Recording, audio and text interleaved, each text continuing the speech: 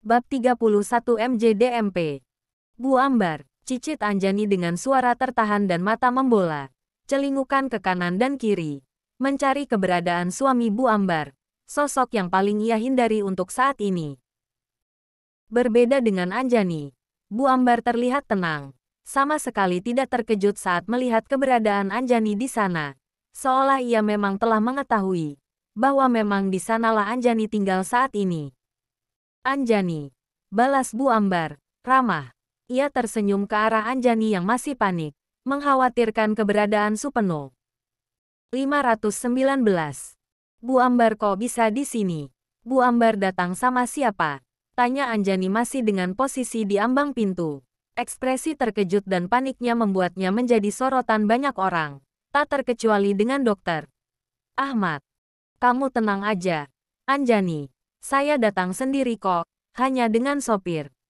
Kamu tahu sendirilah, Juragan Supeno mana pernah peduli dengan urusan kehamilan. Dia tahunya hanya soal bikin anak, tapi tak mau tahu soal mengurusnya. Balas Bu Ambar sambil terkekeh, namun tetap terdengar pilu. Bu Ambar hamil lagi, tanya Anjani terkejut.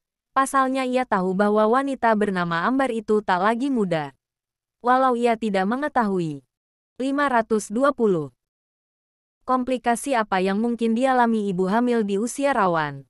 Akan tetapi ia dapat memahami bahwa hamil di usia yang tak lagi muda pasti akan sangat melelahkan, sebab energi dan kekuatan diri sudah sangat berkurang.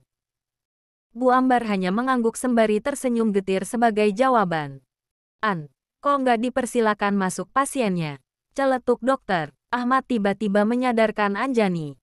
Bu Ambar, mari silakan masuk. Bu, ucap dokter. Ahmad lagi. Anjani lalu merangkul Bu Ambar untuk mengajaknya masuk ke dalam ruangan. Seraya kembali menutup pintu. 521. Anjani lalu mempersilakan Bu Ambar untuk duduk di hadapan dokter. Ahmad, maaf, dok, Bu Ambar ini tetangga saya. Makanya tadi kami ngobrol dulu sebentar. Nggak langsung masuk, Sebab kami saling kenal. Jelas Anjani bernada penyesalan. Merasa sikapnya mungkin dinilai kurang sopan. Saya tahu Bu Ambar adalah tetangga Anjani. Sejak pertemuan kami di rumah sakit tadi siang. Tapi air muka Anjani terlihat berbeda saat bertemu Bu Ambar. Bahkan ia sangat terkejut dan tampak cemas seketika. Sebenarnya ada apa ini? Apa ada sesuatu di antara mereka berdua? 522 Sebab jika hanya sekedar tetangga, seharusnya Anjani tidak bersikap demikian. Gumam dokter. Ahmad dalam hati sembari terus memandang lekat Anjani, merasa heran dengan sikap Anjani yang menurutnya janggal. Ya, saya tahu. An, sebab Bu Ambar ini pasien saya di rumah sakit. Saya tahu beliau berasal dari desa yang sama denganmu. Jawab dokter. Ahmad. Oh begitu. Anjani menyahuti ucapan dokter. Ahmad. Iya. Anjani. Tadi dokter. Ahmad juga sempat bercerita tentang kamu yang sekarang bekerja di sini. Saya ikut senang dengarnya. Akhirnya kamu bisa mendapatkan pekerjaan yang layak. Bersyukur kamu bisa diterima. 523. Di sini. Dokter, Ahmad ini orang yang sangat baik. Jelas Bu Ambar memuji dokter. Ahmad terang-terangan. Pantas saja Bu Ambar sama sekali tak terkejut melihat keberadaanku di sini. Rupanya dia sudah tahu dari dokter. Ahmad, batin Anjani. Anjani tersenyum. Alhamdulillah, Bu. Berkat doa dan kebaikan ibu juga. Balas Anjani, tulus. Saya juga bersyukur, Bu, mendapatkan pekerja seperti Anjani, yang tak hanya kompeten, tapi juga baik dan cantik. Puji dokter, Ahmad di depan Bu Ambar. Tak membiarkan satu kesempatan pun terlewat untuk menunjukkan perasaannya pada Anjani. 524. Jelas saja ungkapan dokter. Ahmad barusan menimbulkan reaksi di wajah putih Anjani. Pipinya tiba-tiba merah alami walau tanpa sapuan blush on sama sekali. Bu Ambar tersenyum penuh makna mendengar penuturan dokter. Sebagai wanita yang memiliki jam terbang tinggi dalam berumah tangga, ia pandai membaca hati seorang lelaki yang sedang jatuh cinta. Dokter benar. Anjani memang anak istimewa. Meskipun masih muda, tapi jam terbang perjuangannya sudah panjang. Lika-liku kehidupannya pasti sudah mengajarkan banyak hal pada Anjani, membuatnya menjadi sangat berkompeten saat terlibat di sebuah kerjasama dalam pekerjaan. 525. Insya Allah kinerja Anjani tidak akan mengecewakan. Saya tahu betul dia anak yang amanah dan sangat baik. Kalau soal kecantikannya, memang tidak diragukan lagi. Dok, sebab dia ini kan kembang desa menjadi gadis yang diperebutkan para pemuda di kampung kami. Bu Ambar membenarkan ungkapan dokter. Ahmad, tak hanya itu. Ia bahkan sedikit menceritakan tentang bagaimana sosok Anjani. Dokter, Ahmad tersenyum. Seraya memandang ke arah Anjani yang kini salah tingkah. Pantas saja kamu menolak saya. An, ternyata saingan saya banyak. Gumamnya dalam hati. Walau begitu, rasa optimisnya tak berkurang sama sekali. 526. Begitu ya, Bu, balas dokter, Ahmad.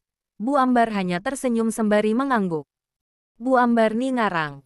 Deh, jangan berlebihan. Bu, nggak baik. Ucap Anjani berusaha menyangkal. Saya bicara apa adanya kok. Balas Bu Ambar tak menyerah. Baiklah. Sepertinya pembahasan ini harus segera kita sudahi. Sebab kasihan Anjani, bisa-bisa pipinya gosong nanti kalau kelamaan memanas. Bu, goda dokter.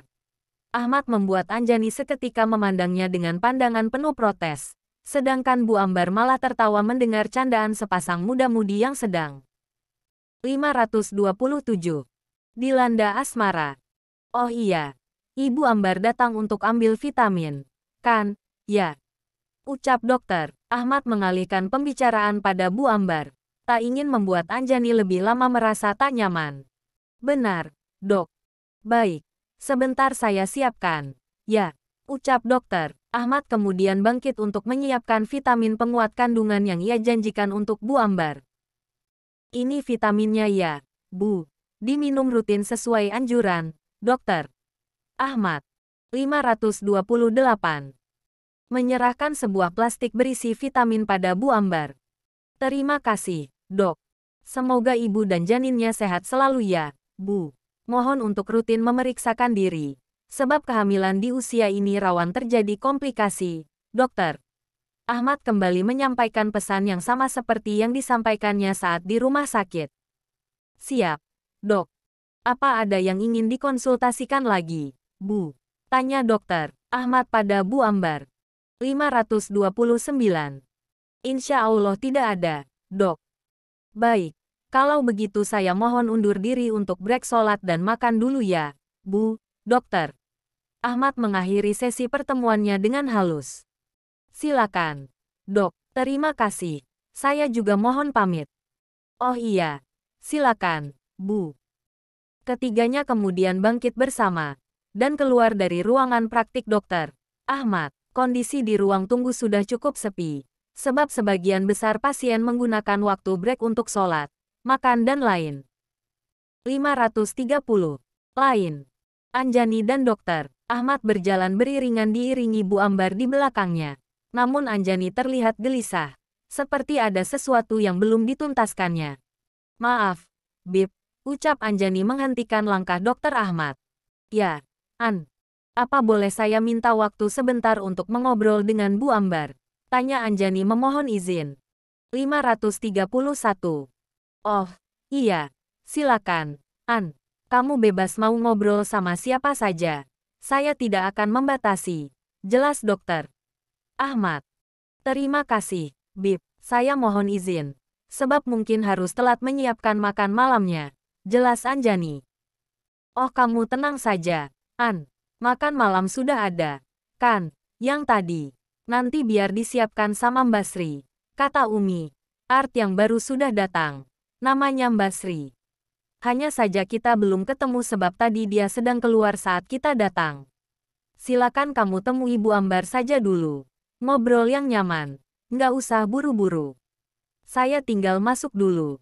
Ya, pamit dokter. Ahmad pada Anjani. 532. Siap, Bib. Terima kasih. Balas Anjani sambil mengulas senyuman manis. Merasa beruntung memiliki majikan sebaik dokter. Ahmad. Dokter, Ahmad balas tersenyum. Setelah itu Ber lalu pergi memberikan Anjani ruang untuk mengobrol dengan Bu Ambar. Kamu beruntung bisa bekerja dengan Dokter Ahmad. Anjani, ucap Bu Ambar seraya memandang dokter. Aham yang memasuki rumahnya. Alhamdulillah, Bu, jawab Anjani sembari tersenyum. Allah Maha Adil. Anjani, kamu dihinakan di satu tempat, lalu kamu bersabar, sehingga Allah menaikkan derajatmu secara kontan. 533. Alhamdulillah, saya turut bahagia melihat keadaan kamu sekarang, Anjani. Bu Ambar menyampaikan rasa syukurnya dengan tulus. Terima kasih, Bu. Dunia ini memang penuh misteri. Kehidupan layaknya roda yang berputar, dan pengendalinya adalah Tuhan. Tidak ada yang tahu kapan posisi kita akan berada di atas, dan kapan posisi kita ada di bawah. Sebagai seorang hamba, tugas kita hanya bersyukur dan tawakal, bersabar saat susah, dan tidak congkak saat bahagia.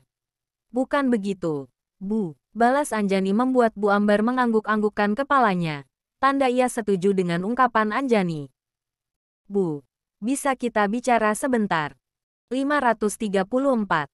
Bisa. Anjani, kamu mau bicara soal apa? Kita bicara di sana saja ya, Bu. Jawab Anjani seraya menunjuk sebuah ayunan yang terletak di tengah taman depan rumah dokter. Ahmad. 500